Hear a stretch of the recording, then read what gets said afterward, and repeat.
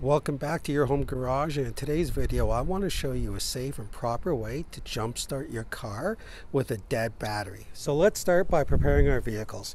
So there's our disabled vehicle right there. What we ended up doing was just moving our good vehicle, our good battery, close enough to it. What you want to do is you want to have somewhere around two feet or so in between so you have enough walking space and you want to make sure that your cables, jumper cables, are long enough that they're able to reach post to post.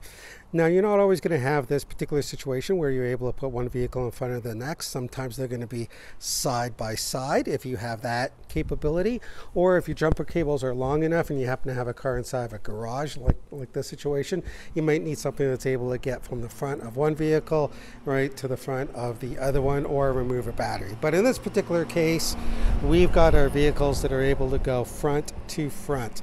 So let's go inside of our vehicle. Prepare both vehicles exactly the same way. Automatic transmissions should be set to park. If this was a manual or a standard, it would be in the neutral position. Handbrake for safety up on both vehicles. Now let's look at the electronics on, on both. Anything plugged into the auxiliary ports or power outlets, let's make sure that that's unplugged. Um, fans, air conditioning, heater controls in the off position radios in the off position. And it's daylight right now so we don't need the we don't need the lights so let's make sure that that's also off. Of course if it's nighttime you're probably going to need that for safety so that would be okay then but right now we don't so let's make sure that that's in the off position. The only thing on the good vehicle that's turned on is just the dome lights but of course as soon as I close the door that will turn off the point is we want as much energy and power going to the discharge battery. So by having everything turned off, it's only going to help with that. lastly, as a safety precaution, um, the key is out of the ignition. We're just going to put that in a safe spot right now as we hook up the jumper cables. So let's go ahead and do that. So with our jumper cables on the ground and spread apart, not tangled, you notice that both sides look exactly the same. So both ends have a red cable for the positive, there you go, and a black cable for the negative or ground.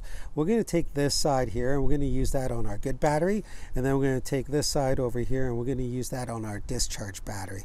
So let's go ahead and take a look at the battery and see what we're dealing with there.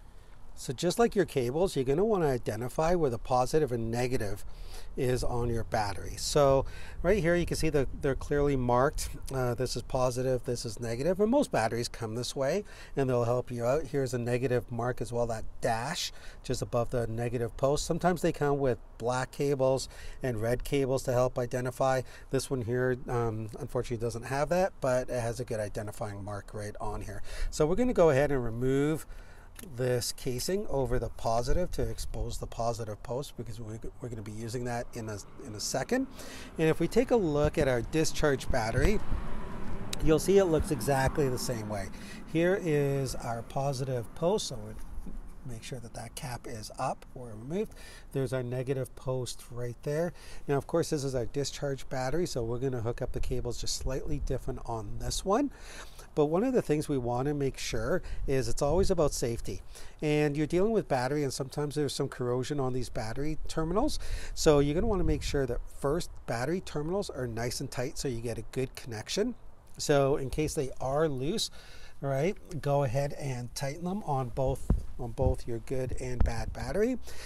Wear some gloves if if you have them accessible to you because again any sort of protection on your hand is better than nothing and if you have safety glasses go ahead and put those on as well now just before we go ahead and install the cables, if you can't remember what order they go in, because we're always going to start and end with the disabled battery or the discharge battery, if you look inside your owner's manual, as I did inside um, for this Honda Civic, you'll see under handling the un unexpected is the jump starting um, instructions. So most manuals will actually have this inside of it. So your owner's manual is always a good reference point. So one of the things to keep in mind is make sure that these leads or these ends are always separated every time you're handling them. Even though there's no current right now, it's just a really solid practice. And you'll see on the ground I've got the other two ends separated as well. So let's go ahead and connect the positive end to the positive terminal. You're going to want to make sure that you've got a really good connection there and it won't go anywhere. Now I'm just going to take the negative for now and just leave that aside. Now let's go ahead and hook up the positive to the good battery. So on the fully charged battery, we're going to go ahead and hook up the positive to the positive. And again, we already know the left post here is the positive based on our indicator here. And on our negative or our ground, we're able to use the post on this one here as well. So we're going to go ahead and hook that up. Give it a little bit of a a little bit of a wiggle, make sure that they're both nice and solid. Now on our drain battery or our dead battery, we're not going to use the post. Let's go ahead and show you exactly how we're going to hook up that negative cable. So our final step in hooking up the jumper cables is now the negative lead on the dead or discharged battery.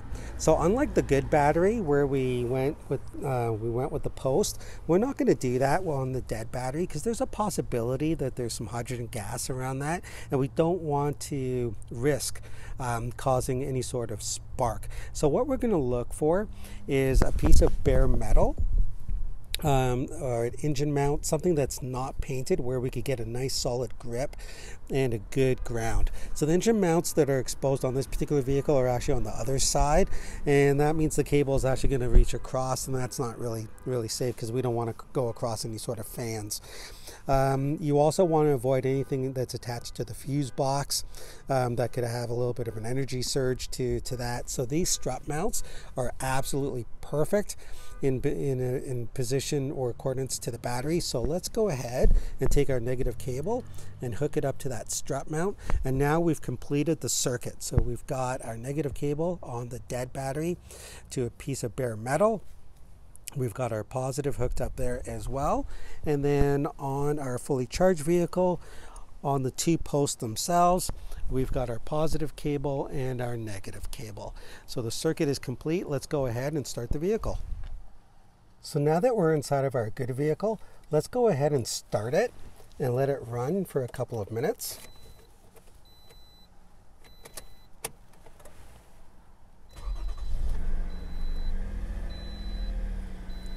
And what this is doing is actually charging that battery. And you're using the alternator inside this vehicle to get some power into that one. If the vehicle's really dead, what you might want to do is rev this up to about 2000 RPM, right, to get a really good charge inside that, that vehicle. But what we're going to do right now is we're going to test it without, we're just going to let it run for about two minutes. So we're in the vehicle with the discharged battery and the battery's been charging now with the good vehicle for about two minutes. So let's go ahead and try starting this. As you can see, we've got full power. Everything is turning on. We'll also make sure that everything on this vehicle is off as well. That way we're able to get a good charge from the alternator into the battery. Now as the discharge vehicle, we're going to leave this one running for a little while and we're going to go ahead and turn off the other vehicle and I'm going to show you how to disconnect the jumper cables. So let's go ahead and do that right now. So as we said before, you're going to want to detach your cables in the reverse order. So it's starting off with the discharge battery, that negative cable. You just want to put that aside nice and safe. Make sure it's not touching any sort of metal where it could ground itself again. Let's go to the good battery, connect the negative there as well. Let's put that on a piece of plastic in this particular case. Disconnecting the positive on, then we're going to go back to the positive side on the discharge battery. We're going to unhook that. So now that we've got our cables totally disconnected, we can put these aside. And with your discharge battery, you're going to want to run this for at least 20 minutes or so. Make sure that it gets a good charge, take it out on the highway, and then come back and test the battery. Make sure it starts up again. You know, if it doesn't, that's where you're going to have to take the next measure and see if you need battery battery replacement or not.